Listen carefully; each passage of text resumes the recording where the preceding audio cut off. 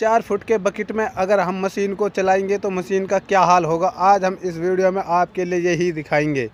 तो वीडियो को ध्यान से देखना। दोस्तों, ये है हमारी machine three D X extra 2018 model और ये इसका लुक है।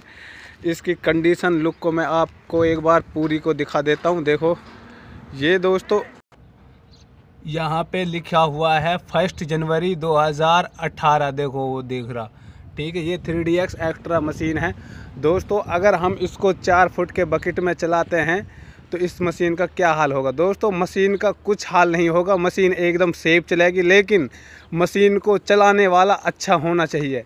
जो मशीन का ऑपरेटर है, वो ठीक होना चाहिए। देखो दोस्तों, हम इस मशीन को इसी बकेट में 2018 से आज 2022 और अप्रैल का महीना चल रहा है। दोस्तों देखने, देख आप इस वीडियो में कंडीशन को देख सकते हैं मशीन की को, कैसी कंडीशन है, देखो। एकदम बिल्कुल साफ़ कंडीशन सुरक्षित, बिल्कुल सेफ़ मशीन कहीं से भी कोई खराब नहीं, सिर्फ़ बूम में नीचे की साइड है। कहीं पे भी कोई ऐसी आपके लिए कहीं खरांच वगैरह नहीं दिखेगी, बिल्कुल सेफ़ ये कैप इसी की लुक जो आपको काला पीला नज़र दिखाई दे रहा है, ये ग्रीस है, बिल्कुल साफ़।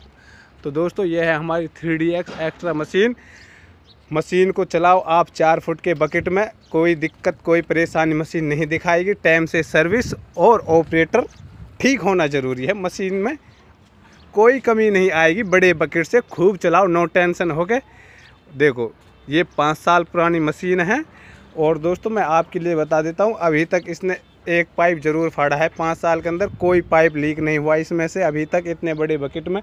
देखो, ये इस मशीन से ही सारा काम हुआ है इस कंपनी का। देखो, चारों तरफ़ आपको जहाँ से भी कहीं पे भी कुछ दिखाई दे रहा है, इसी मशीन ने ये काम को क्या है। ठीक है दोस्तों, ये इसका लुक है और हम आपके लिए केविन का लुक भी इसका दिखा देते हैं। ये इंजन का लुक है।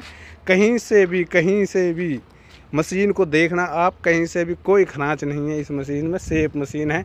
और आपके लिए इसकी रीडिंग मीटर को भी दिखा देता हूँ, कितनी चली है ये। ठीक है 2018 से 2022 तक। तो दोस्तों, देखना, हम करते हैं मीटर को थोड़ा साफ़। और ये बटन है, ये एक्स्ट्रा की, ये एक्स्ट्रा बटन है और एक्स्ट्रा मशीन है। तो दोस्तों, ये देखो ये देखो, चौंसठ सौ इकसठ घंटा ये हमारी मशीन है जो, ये इतने ईयर्स में चल चुकी है। तो दोस्तों, ये इसके अंदर से कंडीशन है, एकदम बिल्कुल साफ़ सुथरी मशीन। आपको कहीं नहीं मिलेगी देखने के लिए क्योंकि इस वजह से मैं इसको दिखा रहा हूँ इतने बड़े बकेट में। ठीक है दोस्तों? आप ढाई फुट का बकेट आपने बहुत देखा होगा, लेकिन ये चार फुट का बकेट आपने पहली बार देख रहे होंगे मेरे हिसाब से। ये मिट्टी के काम में चलती है, यहाँ सब काम करते हैं। फुटिंग वगैरह लोडिंग वगैरह सब।